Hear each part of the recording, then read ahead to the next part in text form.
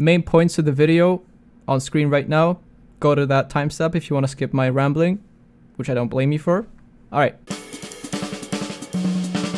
Sometimes I'll just start a sentence and I don't even know where it's going. I just hope to find it along the way. It's Michael Scott, famous quote from uh, The Office. And incidentally, it kind of uh, resonated with me in a way that I put it in the perspective of video creation. So today I wanted to make a video, right? Didn't really have much of a plan. I have a bunch of plans written up on a sheet of paper that are not going to be this video, obviously. And I don't really feel like doing them. I don't feel like they are good enough. I don't feel like my I have any content, right? That's a feeling that probably a lot of people on YouTube at least can relate to. I get stuck in this mode where I don't do anything. I don't record. I just sit there being super anxious about the fact that I should be recording and I'm not. And that is just a negative feedback loop, which basically ends up you being unhappy and there's no content at all. So this video is a bit of a reactional video to a lot of people who I know who are small YouTubers that post the question like when I'm in a creative rut, when I'm out of ideas, like when there's no stream of inspiration coming to me, what do I do? How do I get ideas, right? There's no simple answer to that question, I'll tell you that much. Writers have been like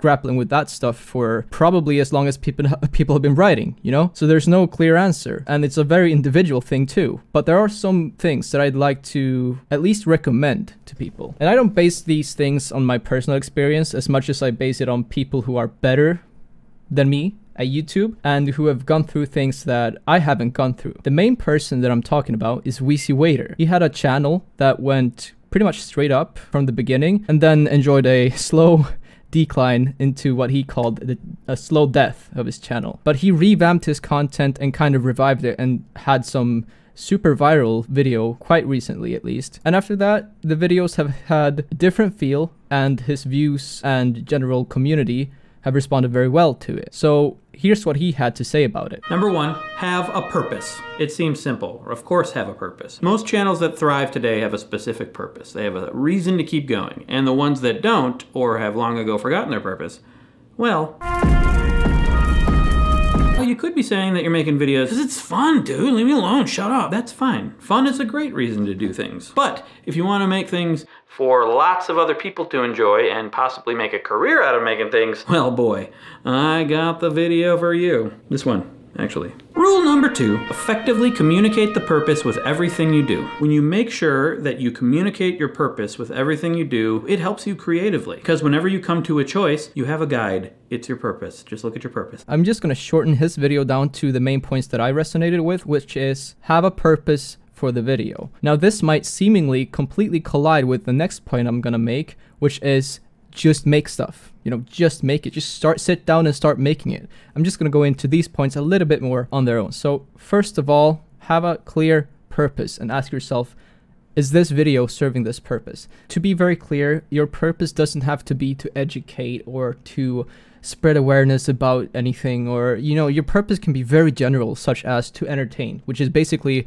what i would say is my purpose and i should definitely move this mic a little bit when i say that's my purpose obviously not in life but with my content is to entertain and i think that's the like the most popular purpose to have on youtube just to entertain people and if your purpose is to blow up or make money, well, you definitely chose the wrong profession, for one. And two, that might be a purpose that is a, a little bit too general if if you catch my drift. See, the purpose is not supposed to be super specific, but it needs to be specific enough so that when you make a video, you can at least ask yourself, is this serving my purpose? Is this entertaining? According to me. Is this imparting the message that I want to impart to my viewers? Yes, no, maybe?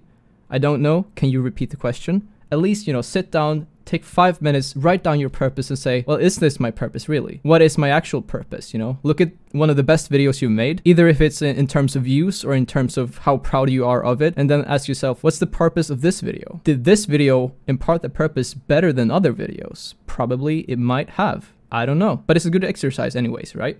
Keep asking yourself, why am I making content? Why am I making this? Why is that cut there? Why is this meme here? Is it entertaining at all? Or am I doing it just because, you know, people other people are doing it right the second topic that i wanted to discuss a little bit sort of uh, ties in well with a question that i see a lot and a question even if you don't ask it you've probably felt it or thought it is how do i get inspiration there is a great video by storytellers which is titled how to be creative how an artist turns pro. And the main message of that video, I'm just gonna cook it down to a few lines for you, is just sit down and start writing. The biggest problem is sitting down to write. That's the actual obstacle, and that's obviously talking about writing, not making videos. But just sit down and start editing, or sit down and start recording. Doesn't really matter at the point of sitting down what you're thinking, because what, as he says, or as somebody else who, who he quoted, Steven Pressfield, I think. As Pressfield states, the professional knows that the mundane physical act of sitting down and starting to work sets in motion a mysterious process that produces inspiration.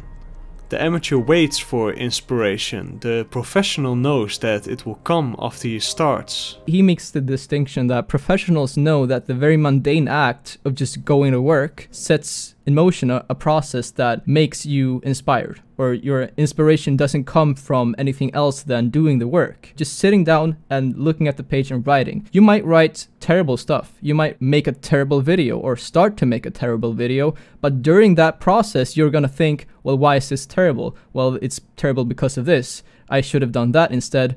And boom, that's your idea. Now you have a better idea and restart the process all over again until you have a great idea or a you know, at least a project that is acceptable. Not everything has to be great. It's YouTube, it's free. As long as it serves your purpose to some extent, that's fine. Seemingly, these two kind of collide in a way, right? You can sit down and do whatever. Well, you're not really thinking about your purpose at that point, are you? No, you don't have to be. Because when you get a good idea, if you get a good idea or a better idea, that's when you start asking yourself, okay, so how can I tie this into my purpose? How can I make this entertaining? How can I make this little talk right here entertaining. But this video, if anything, is probably not serving my purpose as well as it could have been, which is why, to me, this is a bit of a throwaway video just to get something out there, which is okay, because that's how professionals do it. Imagine an actor. Nobody aspires to be in the movie Sharknado. Probably bad example because that movie is actually kind of funny. Nobody aspires to be in like a live remake of a Sonic movie, right? Doesn't really matter. Work is work and as long as you're putting yourself out there, that's a good thing. Most of the time. Don't make racist stuff or sexist stuff. Kind of stay clear of that maybe. I, I feel like that should be shouldn't have to be said. To cap this little video off, I'd like just like to tell you that the links to these videos, which I do recommend you watch in full, are down below. If you think my interpretation of them is bad, you know, tell me about it. I want to know. Critique is always good. And if you're actually interested in this kind of stuff, I would suggest you follow Storyteller and or uh, Wheezy Waiter instead of me, because as I said, this is not my regular content. My regular content is not this. So, you know. I'm going against my own advice, but hey, that's okay.